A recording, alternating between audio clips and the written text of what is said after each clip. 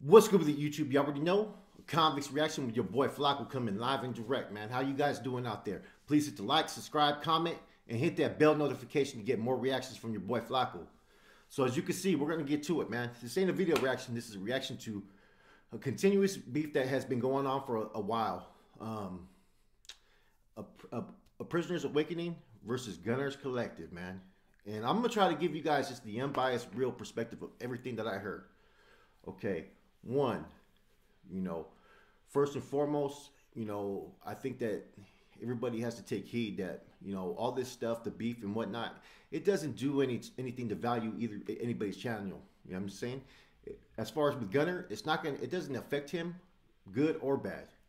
You know what I mean? Um, a prisoner's awakening, it, it's like this when it, when it happens. You know what I'm saying? Some people have a difference of opinion about certain things, man. But at the end of the day, man, um, neither side is really winning on this. You know what I'm saying? And um, you know, I, I'm I'm okay with the prisoner's awakening.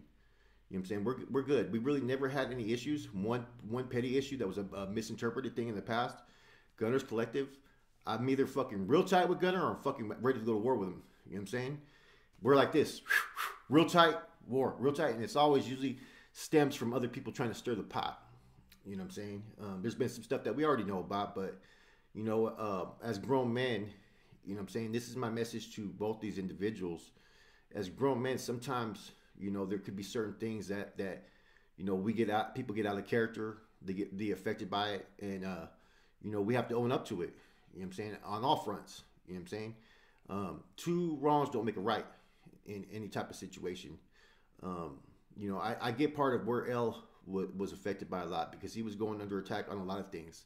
Some stuff may be true. You know what I'm saying? Like I said, there's stuff, some stuff that, like I, I said before, I wasn't in the inner circle of things that were going on. Some of the stuff makes sense in what I've heard, and some of it I haven't heard.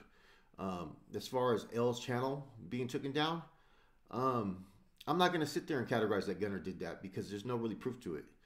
Um, it's hard to really sit there and make a claim like that without any substantiated facts. I know people would like to that because they want to stir the pot. You know, this it could have been it could have been based upon conduct and certain things that were said on his live. It could have been based upon uh, other people that are just reporting him. It could have been trolls trying to set the situation up. It could have been people Gunner and and some of his minions. what I mean by minions, people that follow him, doesn't mean that he's behind it. Or it could have been Gunner too. He says it's not. You know what I mean? So I'm always going to give some people the benefit of the doubt on that. But in any event, you can't prove who it was or what it was.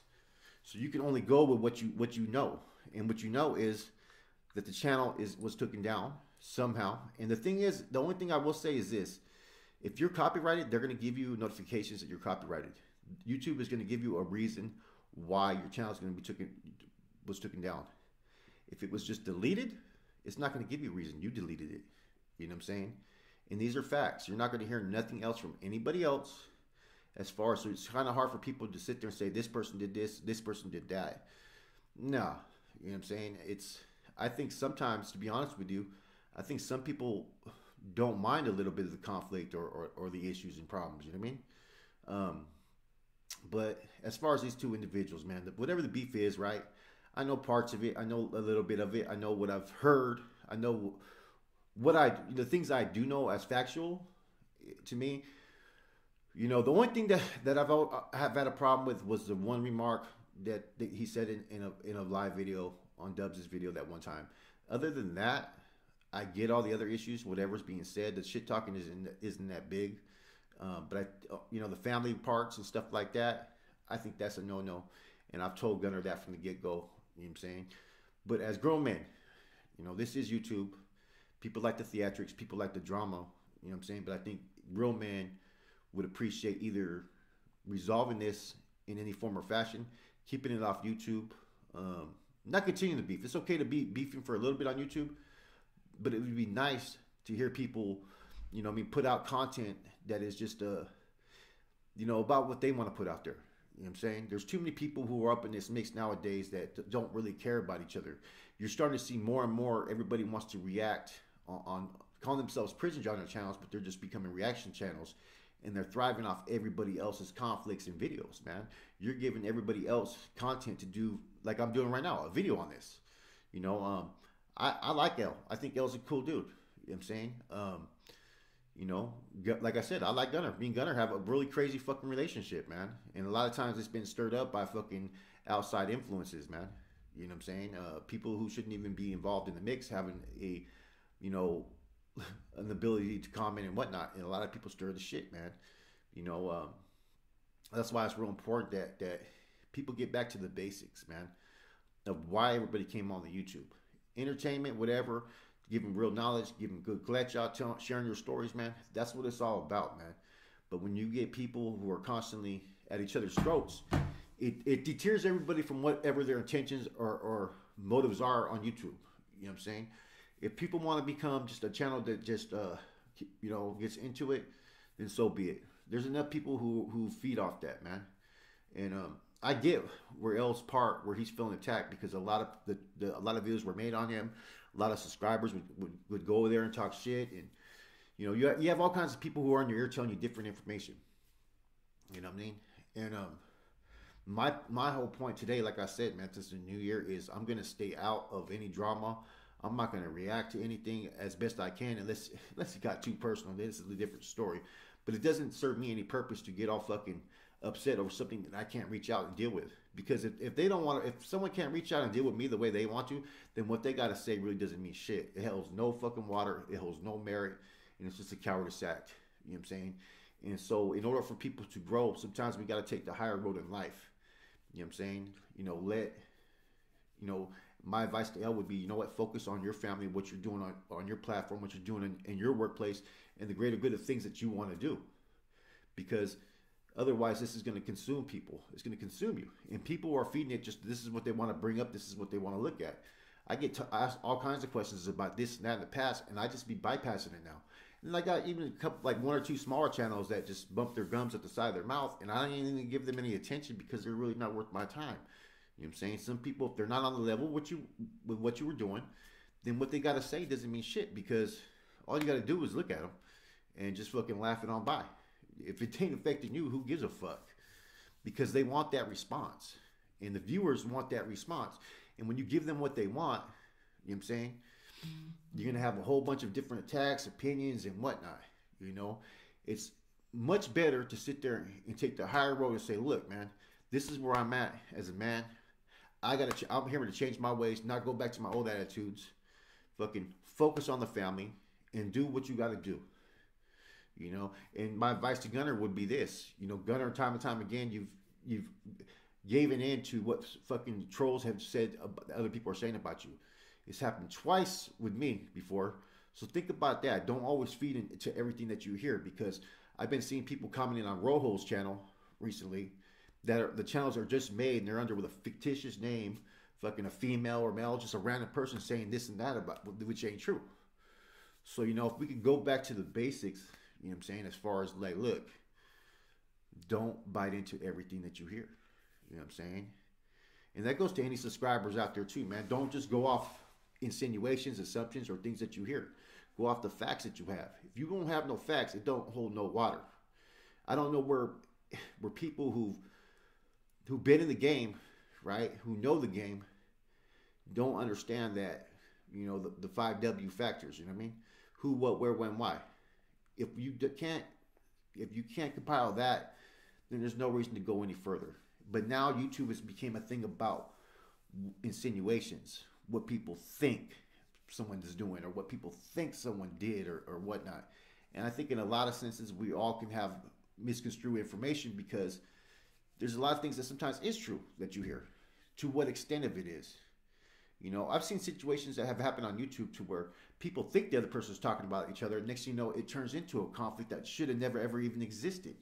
And therefore, you're giving control and power over to other people as opposed to yourself. You know, I'm guilty of that myself. You know what I mean? Um, but we're only human, and humans are never going to be without fault. Only one perfect is a man above, and we already know that. Well, hope you do. But no human being is with, not without fault. Therefore, your actions at times are never going to be perfect. But it's important to own it, move forward. You know what I'm saying? And you know, show people that people can be grown men, not little kids. You know what I'm saying? Not no juvenile hall shit, not no kindergarten shit. You know what I'm saying? If there's still that little little issue of funk that people may have, deal with it when you see each other. Deal with it behind the scenes. You know what I mean? You know, doesn't need to be no fucking, uh, uh, you know what I'm saying, rain to go deal with this because, yeah, that's good if you want to make some money. But if you feel this is too personal, then it ain't nobody's business but you and that person. You know what I'm saying? Because otherwise, people are letting their ego get in the way. And that's the main thing that we need to remember.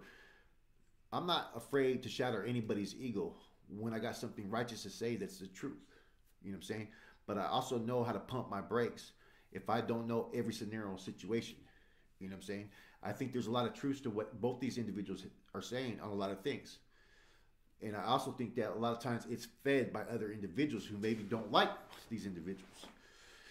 You know, it's it's hard for for men to sit there and say, you know what, man, I'm gonna let this shit go when they feel that they've been disrespected beyond, you know, uh, reason. And see, it didn't help that other people jumped in and, and, and threw out Gunner's name too after the Dubs interview to talk shit to someone. You know what I'm saying? Because this is this was an issue between these two. You know what I'm saying? But everybody feels that they have to have their hand involved in it. You know what I'm saying? And I'm not one to sit there and tell anybody to shy away or back away from any type of conflict. Rock with it. I mean? That's just the truth of it. But you know, did people forget where they came from or what they were about? And if people are trying to be a better man, look for a solution. If there's no solution, then why talk about it? Because then it just becomes gossip. You know? So a solution is needed and is necessary to continue this forward. You know? Anyways, someone just opened my door and I was like, oh, who the hell is this? Anyways, this is my reaction to their conflict, man. And look, I've had my conflicts with different people throughout the, the uh, last year. You know what I'm saying? Some of it valid, some of it not valid. A lot of it wasn't valid when it was directed towards me.